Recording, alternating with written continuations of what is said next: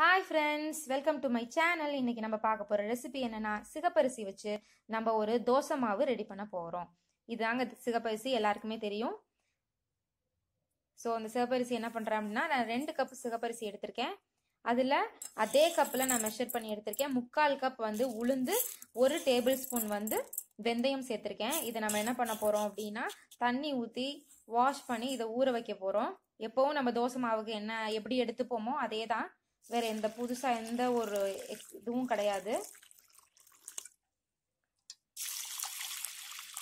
So இதை ஃபுல்லாக நம்ம என்ன பண்ணிக்கலாம்? ஒரு செவன் டு எயிட் ஹவர்ஸ் வந்து இதை ஊற வச்சுக்கலாம். இது சோக் ஆகட்டும். சோக் ஆனதுக்கப்புறம் இதை நம்ம எப்பவும் அரைக்கிற மாதிரி தோசை மாவு எப்படி அரைப்போமோ அதே மாதிரி தோசை மாவை அரைச்சி இது என்ன பண்ண போகிறோம்னா தோசை வாத்தி எடுக்க போகிறோம் இது ரொம்பவே நல்லது. ஸோ இது ஊறட்டும். ஊறினதுக்கப்புறம் நான் பேட்டர் ரெடி பண்ணுவோம். இப்போ நல்லா ஊறிட்டு சிகப்பரிசி ஊறிட்டு உளுந்தும் ஊறிட்டு நல்லா. இப்போ நம்ம என்ன பண்ண போகிறோம்னா இதை நம்ம தோசை மாவு பதத்துக்கு நம்ம அரைச்சி எடுத்துக்க போகிறோம் அவ்வளோதான் நல்லா அரைஞ்சிட்டு இருக்கு இது கலர் அப்படியே அந்த சிகப்பரிசி கலர் மாதிரி வந்துடும் நல்லா அரைப்படுத்து பாருங்க.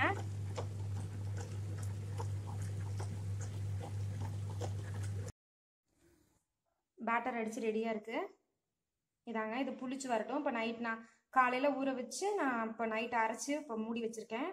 உப்பெல்லாம் போட்டு தோசை மாவு பதத்துக்கு நான் அரைச்சிருக்கேன். பாருங்கள் கலர் எப்படி டிஃப்ரெண்ட்டாக இருக்குன்னு. காலையில் பொங்கி வந்தோன்னே தோசை வாத்து காட்டுறேன். காலையில் பார்க்கலாம் ஓவர் நைட் ஃபுல்லாக இதாகிட்டு காலையில் பாருங்கள் மாவு நல்லா புளிச்சு வந்துட்டு. வாங்க தோசை வைக்கலாம். கல் சூடாயிட்டு தோசை விட்டுறலாம்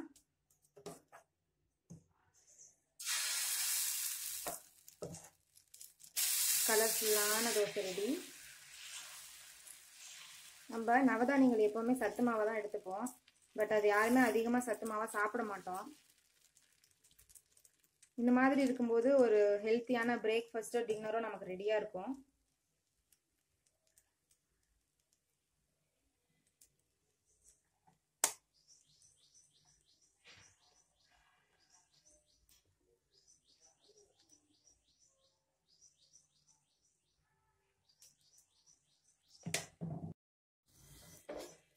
ரெடி ஆயிட்டு நம்ம திருப்பி போட்டுடலாம். இவ்வளோ கலர்ஃபுல்லான தோசை ரெடி.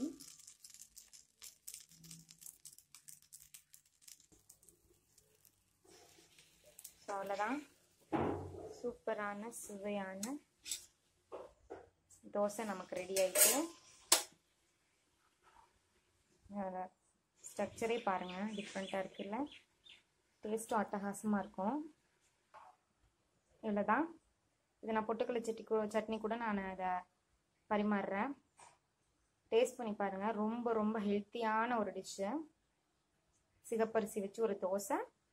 இதுக்கு எல்லா வகையான தொகையிலும் சட்னியும் செட் ஆகும். ட்ரை பண்ணி பார்த்து சொல்லுங்கள் தேங்க்யூ ஃபார் வாட்சிங் my channel please subscribe my channel share பண்ணுங்கள் பெல் ஐக்கான் பட்டனை கிளிக் பண்ணுங்கள்